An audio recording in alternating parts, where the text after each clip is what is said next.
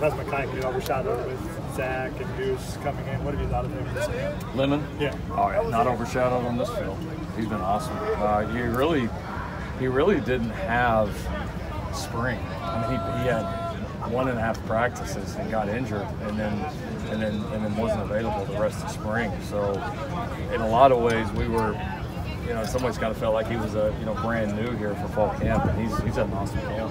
Yes, he is. Uh, we've been able to move him around position-wise. He sounded well mentally. Stayed healthy. Uh, he's a dynamic playmaker. Um, I don't know what's been said on the outside. He's not ever overshadowed on this field. Not at all. How was Malachi Nelson progressed this spring? Much, much better. Uh, he, he was not uh, super healthy during the spring, and um, so I mean physically it's been a it's been a 180, um, and I would say even mentally too. You know, just it was great for him to get the reps in spring. He wasn't he was probably operating probably below 50% physical, you know, physical capability at that point. But it, it, we're glad that he went through it. He's glad that he went through it. It's, it certainly made him better. Um, you know, the competition's made him better. Having you know three other experienced guys in the room has made him better. Um, and it's a it's a good room. There's a lot of conversations. Guys are competing, but they also help each other and push each other. And uh, so yeah, much improved. You know, I think much more confident, um, and certainly a high ceiling for him. How have you seen Raleek kind of continue handling that transition from running back to receiver? He's done well. We've had a couple of guys banged up, so he's had a chance to, to get a lot of reps. Um, you know, listen, it's it's you know when when you when you make a position change, right? No matter how talented you are, Raleek's obviously a very talented player. There is a hey Dorian, there's a there is there's going to be a transition period, right? Like when you've never done that full time. This is not just go out there and run a route or two, right? And this is not just go out there and learn to block this one thing. Like there's a lot more to it. So uh, he's had some really good patches. He's had some rough patches, um, but I do feel like for him, uh, long term, both both here and in the future, you know, with with his size and his skill set, that it makes a lot of sense. Who stood out to you in the latest scrimmage that you had? You mentioned Zion Branch. The last one was there one guy in particular who stood out? I was trying to think back now. Um, you know, Miller, Miller really scrimmaged well uh, at the at the quarterback position. He had really strong scrimmage. Um, both of the young backs, uh, Quinten and A'Marion, um, had some had some really nice plays in the scrimmage. Uh, I thought they, they really showed up.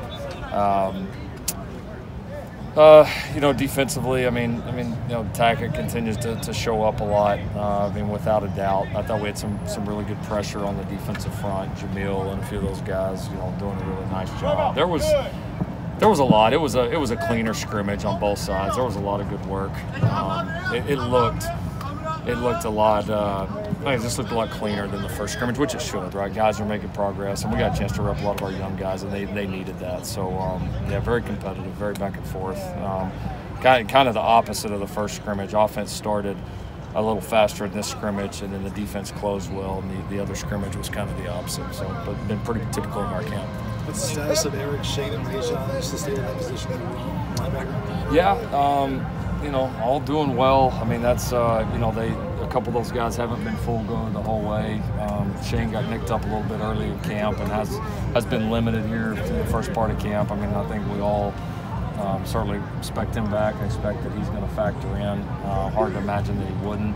Um, a, a, little bit the same for Eric. Eric's been able to get a lot of good work. hasn't hasn't missed quite as much as Shane, but um, obviously with missing spring, you know, we, we got to get him back got to get him back full go, and he's close. I mean, nobody's got anything in the in the serious nature. It's just a few nagging things that we need to get past. But it's listen, it's been a great thing. It's been great for you know, been great for Mason and Tackett. It's been great for Raesjon. He's back full go now. It's been great for Chris Thompson. It's been great for Garrison Madden. Those guys have gotten a lot of reps, and um, so. But it, it is a deeper room. Uh, had had so, been limited last year, I don't think the answers would have been there strong. So um, I'm sure that's a room that's going to continue on.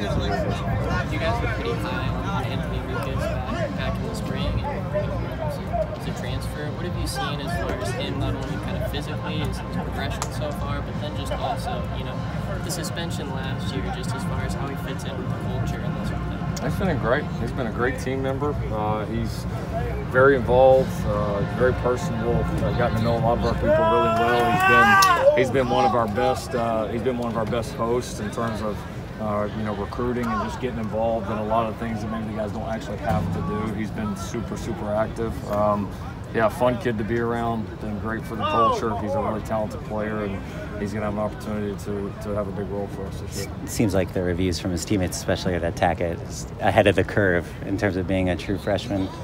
Where do you feel like he he still needs to really develop? And he maybe shows his youth. Yeah, I, you know, he's. I mean, he, he he's been available every practice, and he practices really, really, really, really hard. Um, and those are, you know, those are his strengths. He, he doesn't hesitate. He goes, and um, he's still. Listen, he's, he's still young. He, right? he makes mistakes. Um, there's there, there are things though that you can that you can fix, and you see the progress every day because it's important to the kid because he does work hard, and you never like you never have to coach that with him, you know. And sometimes other younger guys you're coaching the mentality along with the scheme, along with the technique, and it's just it's all this on them once. Like Tackett's one of those kids. Yeah, we're having to coach the scheme, we're having to coach the technique, like the mentality and effort stuff. We don't have to say nothing to him. I mean, you you don't have to motivate that dude at all. He's going to walk out here ready to practice every single day, and uh, so when they can take that off your plate, you know, and you can zero in on those other things, you're going to progress quickly, and he's done that. Some Let's do one more. some guys- What area of the offense would you say you still have the most questions about at this point, if any?